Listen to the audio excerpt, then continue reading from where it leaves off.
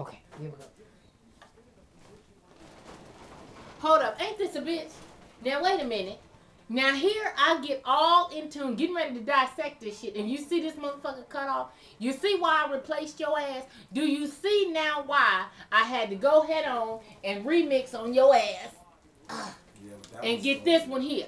But this one here, this bitch saying I ain't doing it neither. Look at this shit. It said I ain't doing it. And fuck you, watch the game. Basically, is what my shit is telling me right now. Seriously, because I've been sitting up here trying to get these goddamn videos out for a minute now.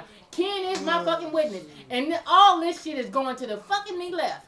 I'm like, what gives, you know? God damn it. Anyway, let me go back to where the fuck I was.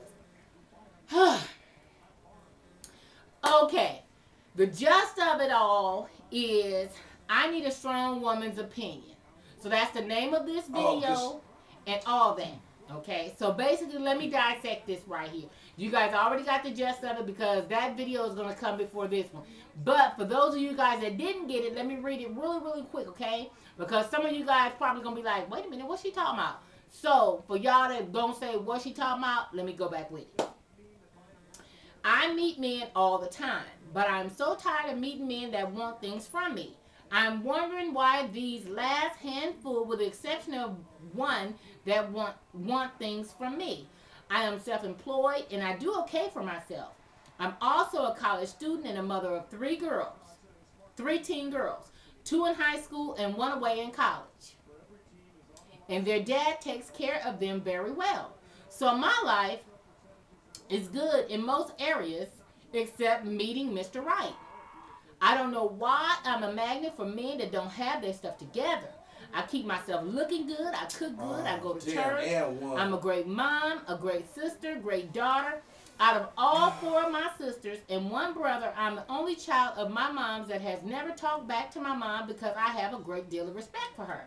So, I have tried to live a good life and treat people good.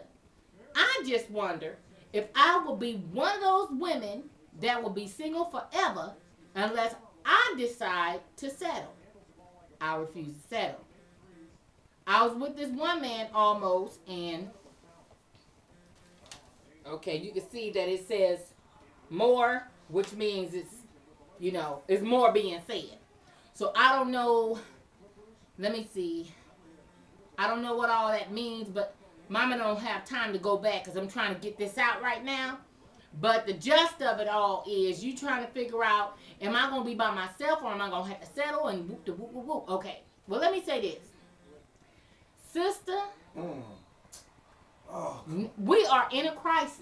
We are seriously in a crisis with our men, with our black men. I don't know about other races because I never dated outside my race or anything. So I don't know what struggles that they go through.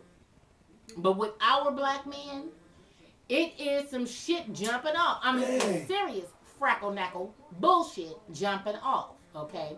Now, they just, I think really, I think what it is is, like I said in the previous video, I think we are, what's the word I'm trying to gather? Because the other word I used was outclass them. But I think we, hmm, lack of a better term, we got more than what the fuck they got. You know what I'm saying? I mean, because if you meet a man, and especially if you meet a man over 35, if you meet a man over 35, have never been married, don't have no children, something wrong with that motherfucker. I'm telling you that right now. It ain't the women, it's his ass. For the simple fact, it's women nowadays trying to, you know, get a man and get pregnant by him to keep him and all kind of other shit. So whenever you meet a man and he busts up and he say I'm 37 and I ain't never been married and I ain't got no children, something is really wrong with that. Because more times than not, he's selfish, self-centered, uh, stingy, and all that other shit in between. He's not used to sharing his world with nobody else.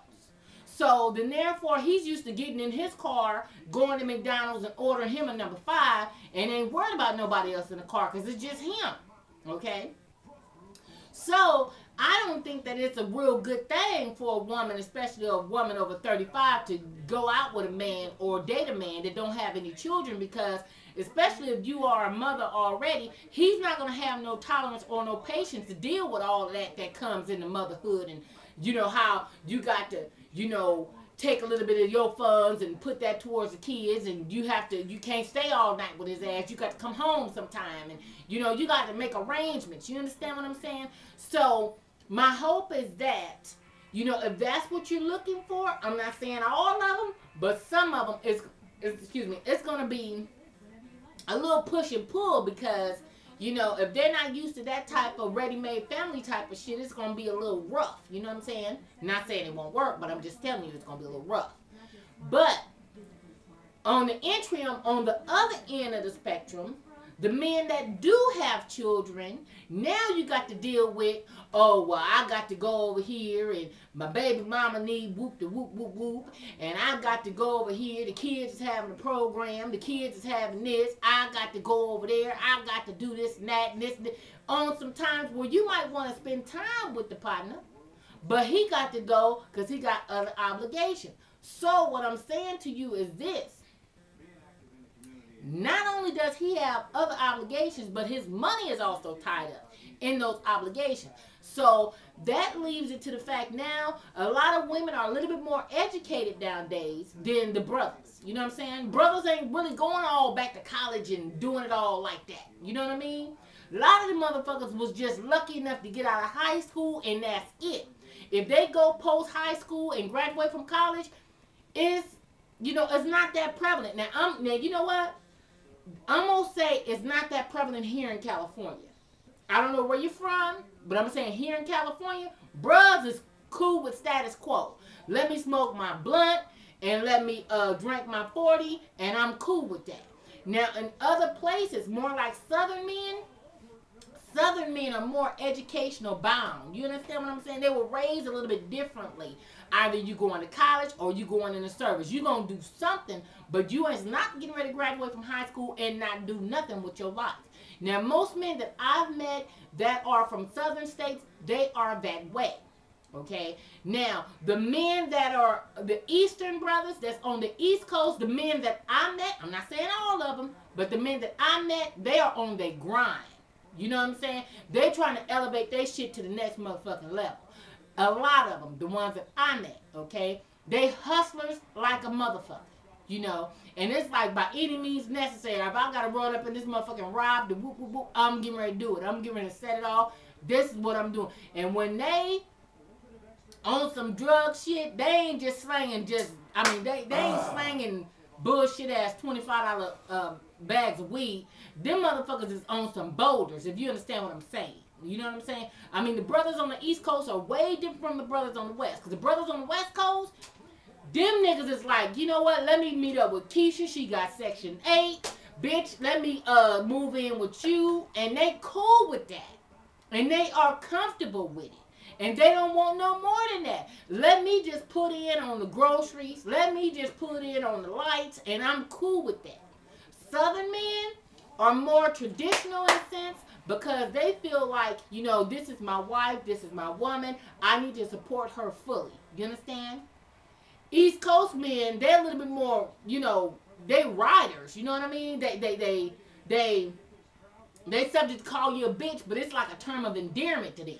It's not like no real bad thing to say this is my bitch. You know what I'm saying? Brothers from the East Coast is a little bit more, you know, they don't bite their tongues and shit. You know, I don't know exactly where you're from, but I'm just saying. Okay, but not only that. With that being said, Okay, and by you being a college student, you got three girls.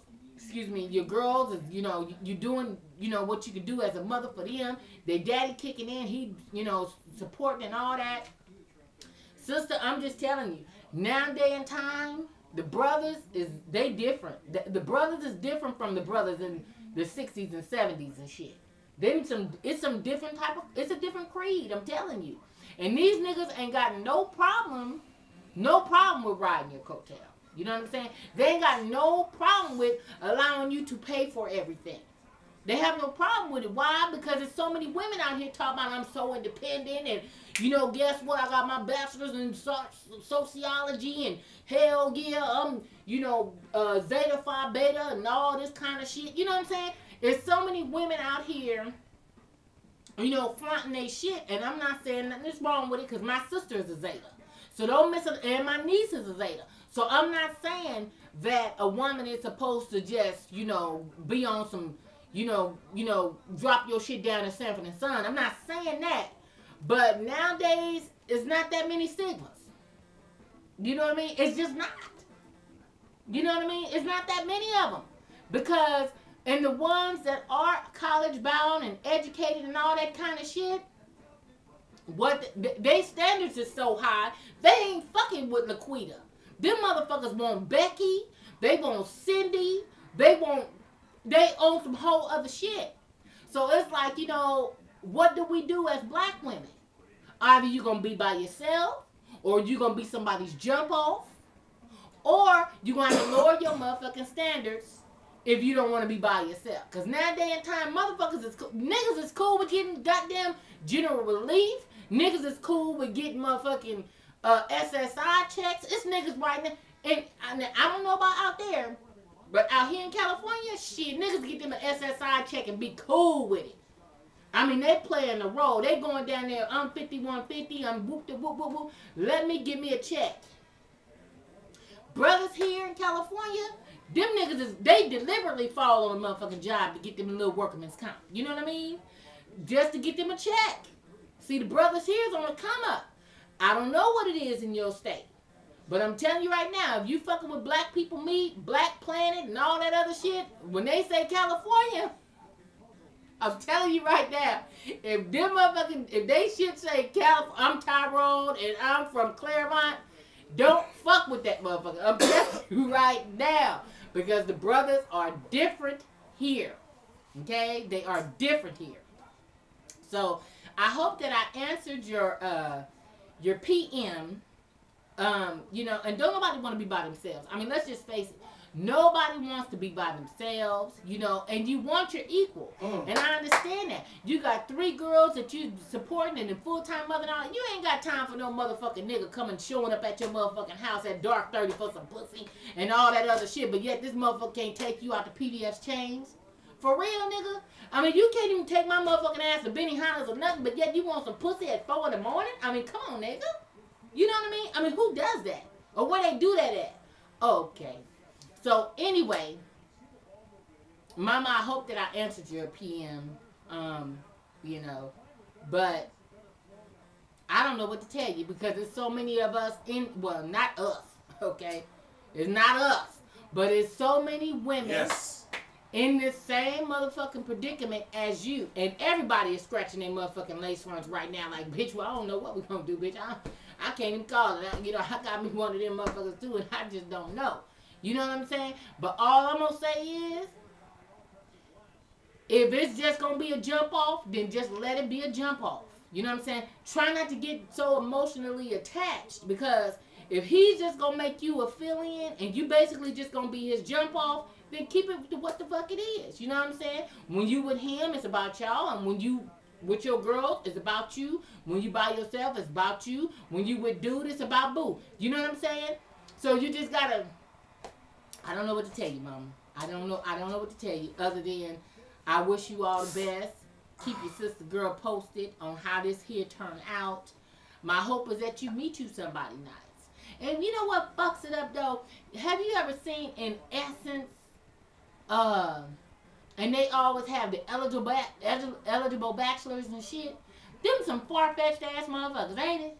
Cause you best bet believe when they put that shit out there and they put a uh contact me. I'm Brian Blaine at essence.com backslash Blaine. You know what I'm saying? It's so many bitches hollering at them. I mean, and, and just like brothers is all, a lot of brothers are saying, it's 10 to 1 and it's 10 to 1, but all 10 of them ain't gonna want your ass. So I'm tired of hearing that shit too. It's 10 to 1, but it's about quality. Now, if you just want somebody to suck your dick around 2 o'clock in the morning, you can get them all day long. Because that's all the fuck they want from your ass too. But if but if you trying to get some quality, And you're Oh, that was a quality, mama. Because for you to be going to school Hmm. and still raising daughters and all that, you are definitely quality. And all of this right here that you're doing, especially taking care of mom and all that, girl, you are quality. So it's like, I feel you on that. Do I lower my standards to just kick it with Jerome and shit? It depends on what you want. If you want a lasting relationship, sometimes you gotta dust these motherfuckers off. I mean, I, I, I understand that that's not what we want to do. That's not part of the plan and shit. But you know, cause the brothers is in a crisis, baby. I mean, they they in a crisis. I mean, they just they just it's fucked up. so anyway, on that note, Mama, I hope I answered your question. I hope I answered it. If not, then you know the rest of you guys chime in on this and give some word of advice to my girl here. Um, you know, hey, and then they at one point in time they were saying go to the church. That's where you find good men at. Shit, you ain't no telling what the fuck you might get at the church neither. I don't want to go there, but goddamn it, there ain't no telling. You know what I mean? Hello, somebody. You know. So I mean, it's like I don't even know where you would meet decent men at nowadays. I, I can't even tell you where you meet them at because these niggas is a is, it's a game. I'm telling you. So on that note, Mama, I don't know. Good luck. All right, lady. Deuces. Bye.